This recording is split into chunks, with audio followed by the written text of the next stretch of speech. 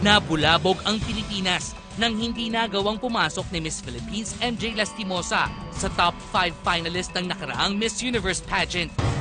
Maraming issue ang nagsulputan at ang pinakamatindi ay ang pag-aaway raw ni MJ at franchise holder Stella Araneta sa backstage during the pageant night itself dahil sa isusuot niyang gown na sa simula pa lamang ay umani na ng batikos.